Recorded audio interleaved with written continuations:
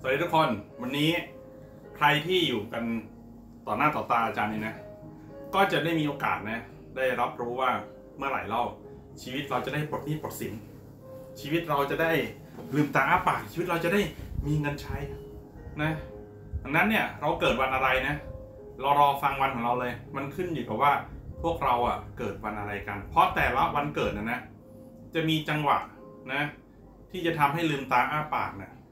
ที่มันแตกต่างกันไปพวกเรา แต่ละวันเกิดเนี่ย ไม่เหมือนกันนะ จะบอกให้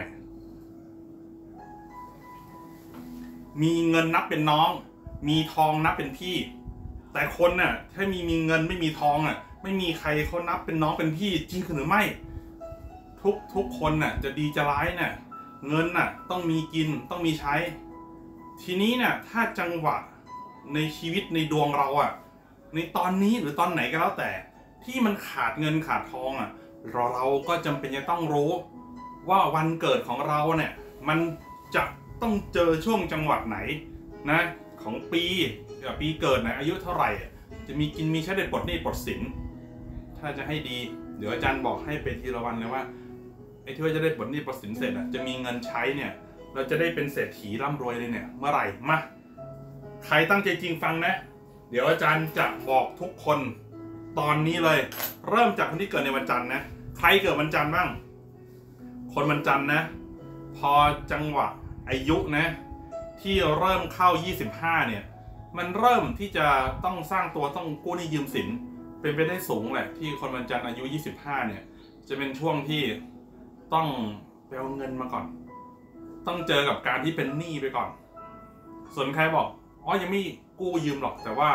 เริ่มที่จะ อ่าทำธุรกิจลองผิดลองถูกไม่รู้ว่าจะทำคนเดียวทำของคนรักก็แล้วแต่เพราะว่ามันเป็นจังหวะที่คนวันจันทร์อาจจะได้ตัดสินใจเรื่องของความรักด้วยทีนี้ถ้าเกิดมันผิดพลาดไป หรือมันเกิดต้องมีอุบัติเหตุทางการเงินไปเนี่ย พอคนวันจันทร์เนี่ยนะ อายุนะ เริ่มเข้าตอน 33 ครั้งหนึ่ง แล้วก็ 41 อีกครั้งหนึ่งนะ33 กับ 41 ของวันจันทร์นะ จะเป็นจังหวะที่ได้ก่อร่างสร้างตัวได้ปลดหนี้ได้มีเงินเข้ามาแล้วนั่นคนวันจันทร์นะจังหวะนี้นะ33 41ทีนี้อังคาร คนอังคารเนี่ยนะ คนเกิดวันอังคารเนี่ยตอนที่วันอังคารอายุ32เนี่ย มันจะเป็นช่วงที่เราอะเป็นครั้งแรกก็แล้วกันที่มีโอกาสได้เอ่อเขาเรียกว่าสร้างตัว ถ้าเกิดจังหวะ 32 ของอังคารเนี่ยทำได้ดีนะ มันก็จะ ค่อนข้างที่จะต้องเพิ่มทุน ต้องลงทุนเพิ่มไปเรื่อยๆ แต่ตอน 40 นะคนอังคารจำไว้ 40 ของคนวันอังคารเนี่ย เป็นจังหวะที่จะได้ปลดหนี้ปลดสิน อังคารถ้า 40 ยังปลดไม่ได้เนี่ย เราอะจะมีลุ้นอีกครั้งตอน 48 เลย คือ 48 ของอังคารเนี่ย มันก็เป็นปีที่น่าจะหมดภาระนะงั้นใครรอตรงนี้อยู่เนี่ย ก็อย่าลืมนะ อย่าลืมจดจ่อแล้วก็ทำหน้าที่ของตัวเองให้ดีที่สุด วันพุธล่ะ คนวันพุธ ตอนที่คนวันพุธเนี่ย เริ่มเข้าอายุ 23 ปีเนี่ย ชีวิตเริ่มเร็วมาก โดยเฉพาะวันพุธเนี่ยเป็นวันที่ทำธุรกิจเจรจาค้าขายเก่งดังนั้นเนี่ยพอ 23 วันพุธเนี่ยอาจจะเริ่มลงมือทำธุรกิจบางอย่างอ่าเริ่มลงมือที่จะกู้หนี้ยืมสิน ทีนี้พออายุของคนวันพุธเนี่ยเข้า 31 แล้วก็จังหวะสำคัญมากๆคือ 38 ของวันพุธนี่นะคนวันพุธ 38 เนี่ยนะ จะเป็นช่วงที่ได้ใช้หนี้สิน แล้วก็จะเรียกว่าเริ่มร่ำรวยก็ตอนนั้น แล้วก็ไปพีคอีกครั้งหนึ่ง ตอนที่คนวันพุธอายุ 45 ตอน 45 ของคนวันพุทธนี่นะ มีโอกาสสูงแหละจะซื้อบ้านซื้อรถตอนนั้นแหละค่อนข้างที่จะเรียกว่าล็อกตามล็อกดวงของวันพุทธเลย ต่อมาพฤหัสสบดีคนพระสัปดีเนี่ยนะ อาจจะมีการเริ่มต้นสิ้นสดล้มลุกคลุกคลานได้ ไม่มากก็น้อย อาจารย์จะบอกว่าตอนที่อายุพระสัปดีอะเข้านะนะอายุช่วง 30เนี่ยนะมันมีโอกาสทอง มันมีโอกาสทองที่พระสัปดีอะจะเริ่มแล้วกันในการที่จะสร้างครอบครัวไปรวมถึงการสร้างธุรกิจด้วย แต่ตอนที่อายุเข้านะ38 ครั้งหนึ่งนะแล้วก็ 43 อีกครั้งหนึ่งมันเป็นโอกาสหรือจังหวะที่พระสัปดีอะ จะได้เหมือนกับว่าแจ้งเกิดสักที คือตอนนั้นเนี่ยอาจารย์มองว่าถ้าเกิดมีหนี้สินอะไรเนี่ย ก็จะปลดออกหมด แต่ถ้าเกิดว่าเรามองว่าตอน43อะยังไม่เขาเรียกยังไม่สามารถที่จะปลดหนี้ปลดสินได้ โอกาสอีกครั้งหนึ่งอะตอน 45 นะ แล้วก็ 53 นั่นแหละ อาจารย์ให้เต็มที่นะ 45 ครั้งหนึ่ง53 อีกครั้งหนึ่งของพระราชบดีอะจะต้องเป็นช่วงที่หนี้สินหมด แล้วก็มีเงินเข้ามาแล้ว วันศุกร์มีไหมคนเกิดวันศุกร์อยู่ไหมคนวันศุกร์นะ ชีวิตเริ่มต้นเร็วพอสมควรบางครั้งวันศุกร์เป็นคนมีเสน่ห์อาจจะแต่งงานเร็วอพอแต่งงานเสร็จก็มีคู่ใช่ไหมเข้ามาร่วมด้วยช่วยกันมาช่วยกันทำมาหากิน คนวันศุกร์นี่นะ ตอนที่ 28 เนี่ย เป็นช่วงเริ่มกู้หนี้ยืมสินนะ เริ่มละที่จะกู้หนี้ยืมสิน ทีนี้ถ้าเกิดว่า เราเกิดวันศุกร์เนี่ย แล้วเรามีความรู้สึกว่า อืมทำไมมันถึงเป็นหนี้แล้วก็เหมือนกับว่า ยังไม่มีวี่แววเลยอาจารย์จะบอกให้ไม่ต้องห่วง ไม่ต้องห่วง เพราะคนมันศุกนี่นะ เวลาที่เริ่มต้นกู้หนี้ยืมสินตอน 28 แล้วเนี่ย จะเป็นช่วงจังหวะที่มันเริ่มด้วยความมั่นคงมาเลยทีนี้ความมั่นคงของเราอะ บางทีมันก็อา อาจจะมีเงินรั่วไหลระหว่างทางด้วยพูดตามตรง เพราะว่าคนมันศุกเนี่ยบางทีก็ลงทุนแบบเขาเรียกมือเติบนะมือเติบกล้ากล้าที่จะลงทุนกล้าจับจ่ายใช้สอยกล้าซื้อของแพงๆมามาขายอะกล้าลงทุนอะพูดง่ายๆจะทำธุรกิจบางทีทำสวยเกินกว่าสินค้าเกินกว่าสถานที่ก็มี ดังนั้นกว่าคนมาสุกเนี่ยจะรู้สึกว่าปลอดภัยได้เงินได้ทองมา ทำการเขาเรียกนะใช้หนี้สินนะก็รออายุ36 36นะ ถ้ายังไม่เรียบร้อยอีกนะ ยังแบบยังมือเติบยังลงทุนต่อ เพราะธรรมดาคนประสบอะเป็นคนที่มีแผนในการที่จะหาเงินหาทองเก่งพอ 36 บอก เอ๊ยยังไม่สักใจ ยังต้องลงทุนต่อยังอยากจะกู้นี่ยืมสินมาอีก ก็ได้นะ ตอนที่อายุเข้า 44 นั่นแหละ จึงจะได้ใช้หนี้ใช้สินแล้วก็เริ่มมีเงินที่ว่า เป็นเงินเก็บสำหรับความมั่นคงสักทีนับจากอายุ 44 เป็นต้นไป ต่อมาวันเสาร์ลักษณะวันเสาร์นั้นเป็นคนใจใหญ่ เป็นคนคิดใหญ่ คนวันเสาร์นะ ตอนที่อายุ 30 เนี่ย จะเริ่มจริงจังแล้วว่าจะหาเงินหาทองสร้างธุรกิจแต่งงานอะไรก็แล้วแต่ ก็อาจจะเริ่มกู้หนี้ยืมสินตอนนั้นแหละ ถ้าเกิดว่าลงทุนได้เท่าไหร่คนวันเสาร์นี่เรียกว่า เทหมดหน้าตักเทหมดหน้าตักคือ เป็นคนที่เต็มที่กับทุกอย่างมาก ทีนี้พอเข้าสู่ 30พวันเสาร์เริ่มกู้หนี้ยืมสินนะ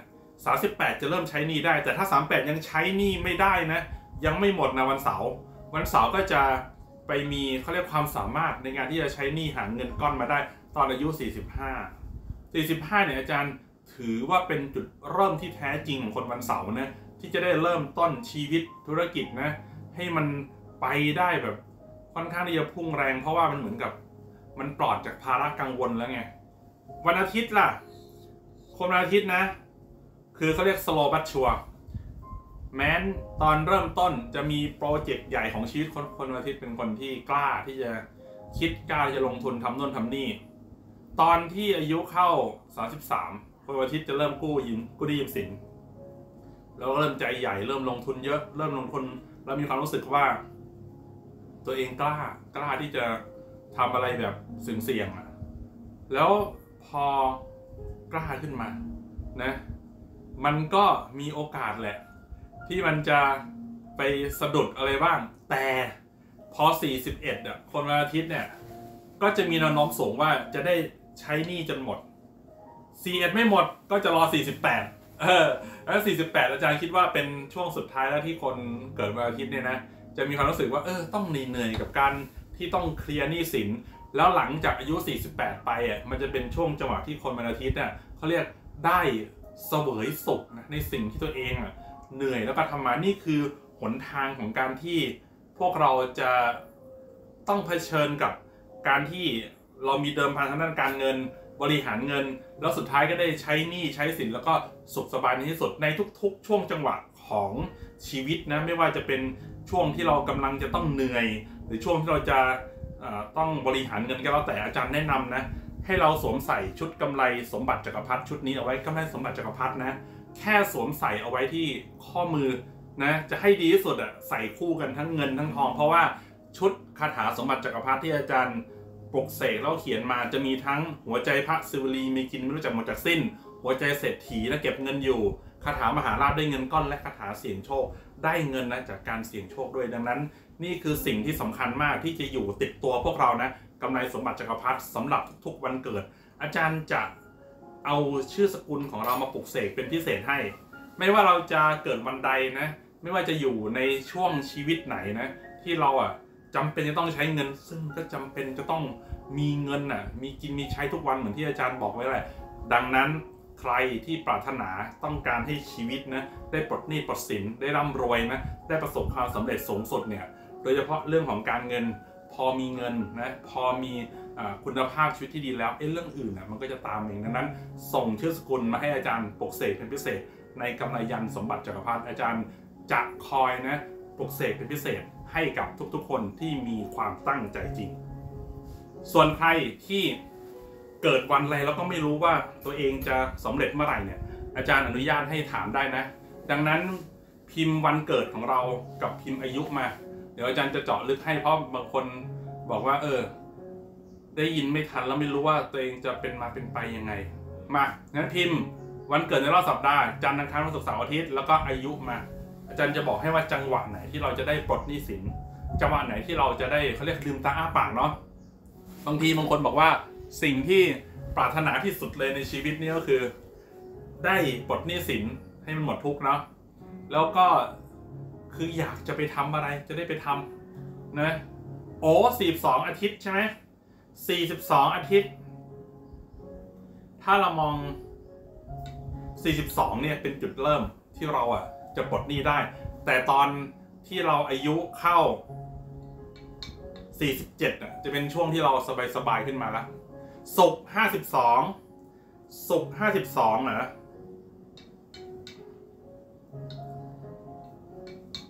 ต้องรอ 56 ถึงจะสบาย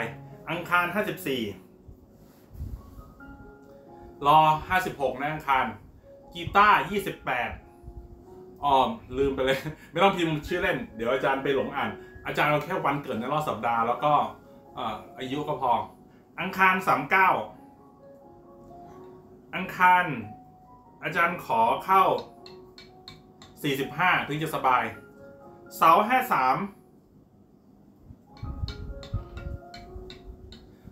รอแค่ 54 เริ่มสบาย เสาร์28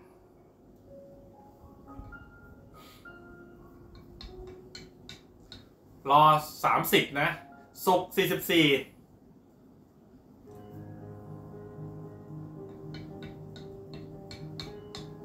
รอ 47 นะศุกร์47 เสาร์51 เสาร์รอ 54 จันทร์38 รอ 41ศุกร์48 สุกร้อยห้าสิบอาทิตย์สามห้าร้อสามแปดนะอาทิตย์เสาร์สามเจ็ดรอสี่สามศุกร์ยี่สิบเก้า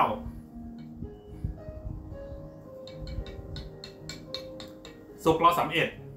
เสาร์สามสิบ 30 31ก็ได้แล้ว31เอ็ดี๋ยวเริ่มสบายแล้ว อังคาร34อังคารเรอ37นะ ซึ่งในทุกๆช่วงวัยของพวกเราเนี่ย ก็สามารถที่จะสวมใส่กำไรยันสมบัติจักรพรรดิแบบนี้ คู่กันนะ เพื่อเรียกทรัพย์ให้เข้ามาเร็วขึ้นดีขึ้น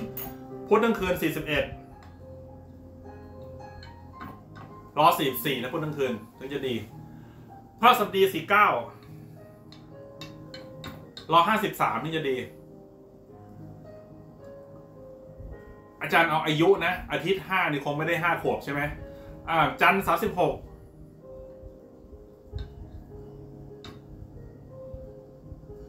ต้องรอ41นะจัน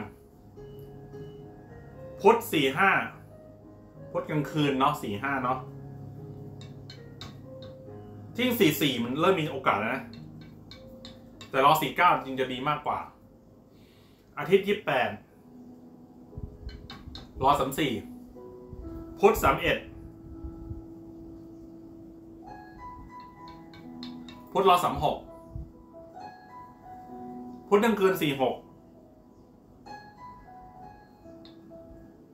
รอสี่เก้าพุทธกลางคืนรอสี่เก้านะศุกร์สี่เก้าศุกร์รอห้าสิบเอ็ดอังคารยี่สิบสี่รอสามสองอังคารจันทร์ สี่หกรอสี่เก้าอาทิตย์ยี่สิบสี่รอสามสี่หกสิบปีเลยนะ อังคารยี่แปดอาจารย์ต้องขออภัยอาจารย์อ่านเฉพาะคนที่อยู่ข้างหน้านะ ถ้าถูกผลักไปต้องขออภัยด้วยอังคารยี่แปดรอสามสองพฤหัสสี่หก รอสี่เก้าอังคารสี่เจ็ดรอสี่แปดอาทิตย์ยี่หกรอสามเอ็ดพุธสี่เก้า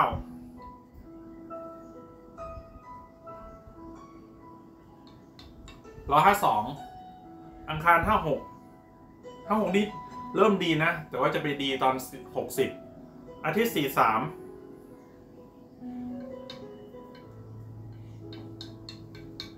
รอสี่เจ็ดอังคารสี่เอ็ด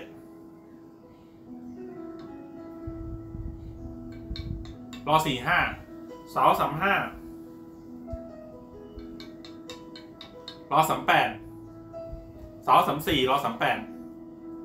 ศุกร์สี่เจ็ด